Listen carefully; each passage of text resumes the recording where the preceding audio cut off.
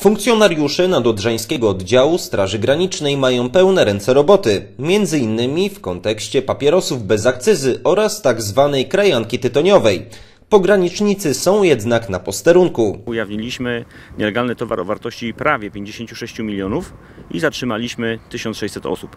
No, ten nielegalny zatrzymany towar związany jest ze zwiększeniem się e, procederu związanego z przemytem papierosów oraz suszu tytoniowego i liści tytoniowych. No, generalnie chodzi tutaj o dosyć wysoką cenę papierosów w Polsce oraz modę, która jest w chwili obecnej na produkcję papierosów we własnym zakresie.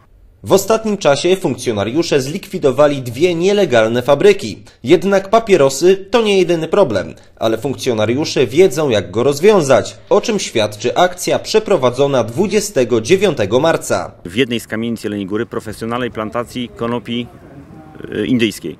Zatrzymaliśmy 188 krzewów oraz 14 kg gotowego produktu o wartości 5,5 milionów złotych. Podczas produkcji tej plantacji zatrzymaliśmy również dwóch, oby, dwóch mieszkańców Dolnego Śląska, e, którym postawione zos- zostały zarzuty Wszelkie informacje dotyczące działań prowadzonych przez funkcjonariuszy można znaleźć na stronie internetowej Nadodrzańskiego Oddziału Straży Granicznej.